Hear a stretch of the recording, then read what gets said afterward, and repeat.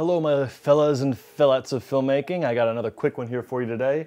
These are some hard cases I got in to protect my CF and SD cards, and I want to plead to you to get one of these if you are still using these things that come with those cards when you first buy them. You know, these do add a little bit of protection, but A, they can still get stepped on and crushed. B, they only hold one guy. And C, it's really annoying to open them up and get the things out. I made a whole other tutorial about why I don't like these and why I prefer to use other cases, but I just wanted to show you these cases that I just got in.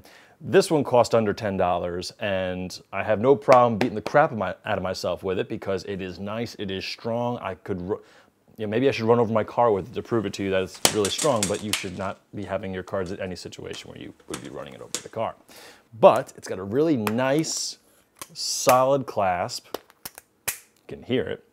It's got a nice hook and it holds four CF cards and eight, yep, that's eight SD cards, which hide just on the CF cards.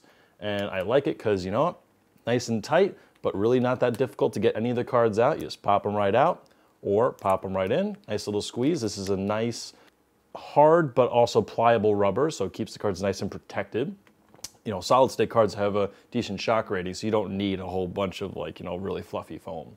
But it's got a really nice weather seal in here. I have not tried to dunk this in water, but it looks like it'll hold up to complete submersion just fine, but I don't know why you would be submerging this in water, so I don't think you should even bother trying.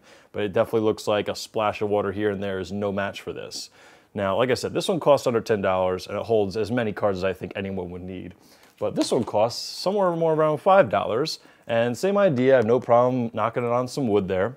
Nice little clasp, although not nice as that. And it holds two CF cards and four SD cards.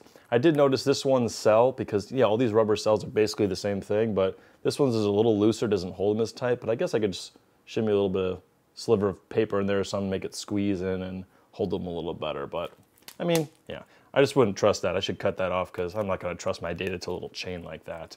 But anyways, these two things add practically no cost to your budget and they add practically no size or weight to your camera bag.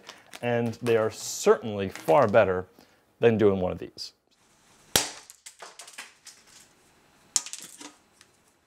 Darren Levine, MediaHalo.com.